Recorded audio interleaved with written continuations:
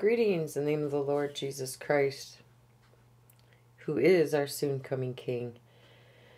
I wanted to share on this topic here, you know, as we come up to the season where we observe the the death and the resurrection of Jesus. And uh, I just I wanted to get a little into more depth in in in the price that he paid. Uh, because I know a lot of people just don't really consider, you know, the the depth of what he suffered, that being able to see the depth of his love, because in what he suffered declares to us the depth of his love. And uh, I just I wanted to just take a look at it and share. You know, maybe there's somebody out there who doesn't even know. So, and if you do know, you know, I just pray that it would retouch your heart, his love. Um, and then I got to say, this isn't the first time I've done this because this is really hard to get through, you know, and keep your composure, okay? But, anyways, uh, let's get into it. We're going to start in Matthew 26, verse 67, and this is right after they had arrested the Lord and took him, you know, in to be tried and on his way to crucifixion.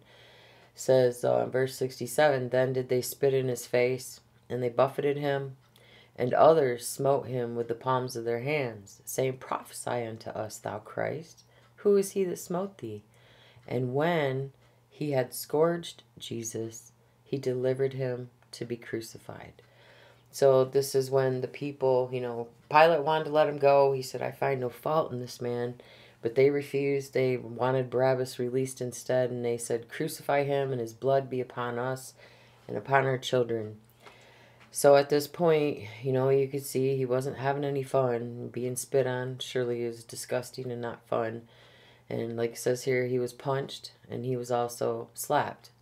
Okay, and then scourged. And uh, Romans, scourging, it was considered part of the impalement process. And sometimes it was so horrible that the victim died from it. You know, they had limits on how many stripes because it would kill a man. But, you know, when you were on your way to be crucified, uh, they knew you were dying anyway, so they took liberty. But anyway, so we know that he was in pretty bad shape. I mean, most people know that that whip, it had pieces of like glass and bone and stuff on the end of the the strips. So, you know, it took out chunks. It wasn't just like a, you know, like you see back in the old slave movies where they'd whip them with a whip and they'd have those slices, which also were probably horrible, but what the Lord experienced was much worse. Okay, and then after enduring all of this and being, you know, just flesh open. So after that, it goes on to tell us in Matthew 27 27 through 31. Then, after that, the soldiers of the governor took Jesus into the common hall, gathered unto him the whole band of soldiers, and they stripped him that's humiliating. They put on him a scarlet robe, and when they had plaited a crown of thorns, they put it upon his head, and a reed in his right hand. And they bowed the knee before him and mocked him, saying, Hail, King of the Jews! And they spit upon him, and took the reed, and they smote him on the head.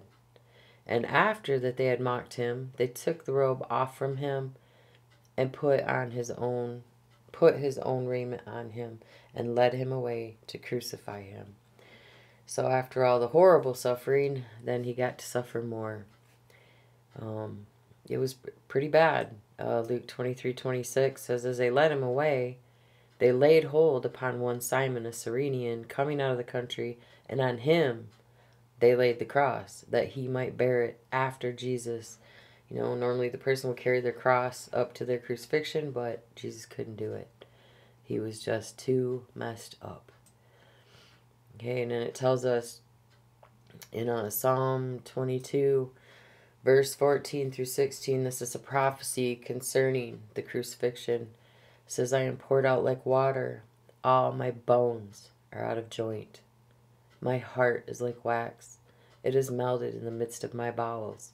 My strength is dried up like a potsherd, my tongue cleaves to my jaws and you have brought me into the dust of death, for dogs have compassed me.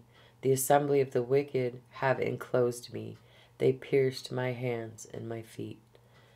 So here we see when he finally gets to the cross, okay, his bones are out of joint. They say that dislocations hurt worse than breaks.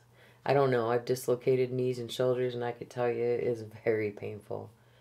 But I've never broke a bone, so I couldn't say, like they say, that a dislocation hurts worse than a break. But I, I know the scriptures say that you know, at the end when a man's on the cross for, you know, that punishment, um, they would break their, their knees so that they could die. And, you know, Jesus died before the breaking of the knees because it was written, a bone of him shall not be broken.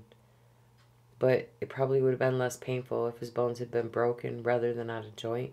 And when he said, My heart is melted like wax, you know, melted in the midst of my bowels.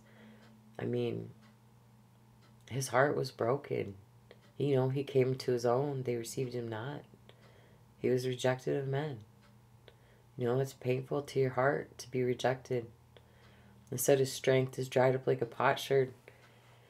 You know, everything he went through, surely he had no strength left. He was thirsty. And when it says they compassed me, dogs have compassed me. In the Word of God, dogs refers to those who are unbelieving Gentiles you know, not God's people.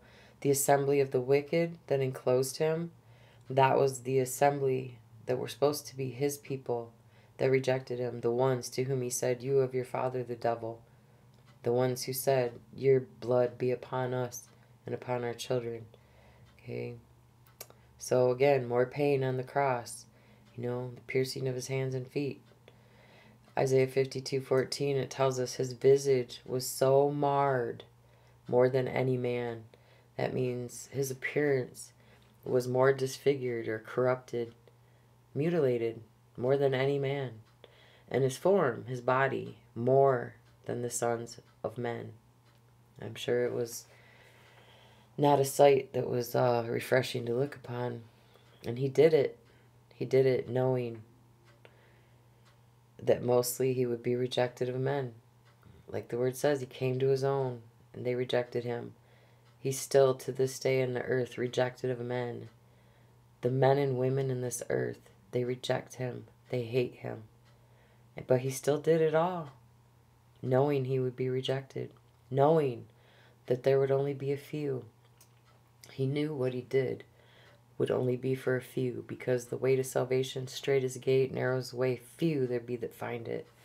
But he came and willingly suffered anyway It says in Isaiah 56 through 7, I gave my back to the smiters, and my cheeks to them that plucked off the hair. I hid not my face from shame and spitting. For the Lord God will help me, therefore shall I not be confounded. Therefore have I set my face like flint, and I know that I shall not be ashamed. You know, the word says that God highly exalted him. He highly exalted him the fullness of the Godhead bodily, the Word become flesh, is highly exalted. His name is the name above all names. Because this, because he loved and laid down his life. When it says he gave his back to the smiters and his cheeks to them that plucked off the hair, this is a piece here of something he experienced that was not written in the New Testament scriptures. And it has a, it has a meaning why this happened to him and I wanted to share that. Ezra 9 2 through 3. This was uh, during a time when Israel had disobeyed God's law because it was written that they should not take wives for them or their sons, nor should they take of their sons for their daughters. And it says, For they have taken of their daughters for themselves and for their sons, so that the holy seed have mingled themselves with the people of those lands. Yeah, the hand of the princes and rulers has been chief in this trespass. And when I heard this thing, I rent my garment and my mantle, and plucked off the hair of my head and of my beard, and sat down. It's like astonished, astonished. So, this was just like a, a sin, a grave sin in the land of Israel.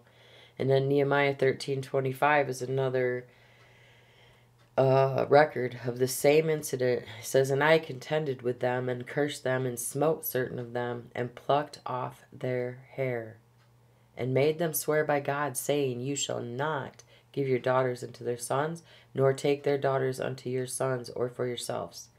So we can see what this is about here. And how many of us, you know, have been unequally yoked together with non believers, whether in marriage or or even in you know, intimate fellowship. You know, we're not to be, we're supposed to come out of the world and be separate. And even today, like it says, uh, if you're you're in a covenant marriage and and you're like the non-believing spouse wants to leave the believing spouse, the believing spouse is free; they're not bound, but they're not to remarry except a person of faith. You know, the Lord is same yesterday, today, and forever. This is still to be this way today. And you can just take a look out there at Christianity and you can see it's all mingled up in the world. And Jesus paid the price for this sin too. He paid the price for all of our sin. And the word goes on to tell us in Isaiah 53 5 says, He was wounded for our transgressions, He was bruised for our iniquities. The chastisement of our peace was upon Him, and with His stripes we are healed. Okay, and then in John 12 27, um, when he was heading the way of the cross and he was in, you know, great heaviness in prayer, he said, Now is my soul troubled. What shall I say? Father, save me from this hour. But for this cause came I unto this hour. I mean, Jesus specifically came and did what he did, knowing what he was going to suffer, knowing what he was going to endure, knowing that only few, only few would follow him. And then in 1 Corinthians 11 23 through 26 says, The Lord Jesus, the same night in which he was betrayed, he knew he was going to be the Passover lamb, and he knew his blood was going to be that Passover blood that would cover us, that the death angel would pass over us, and we would have life and be freed from the grave and from death.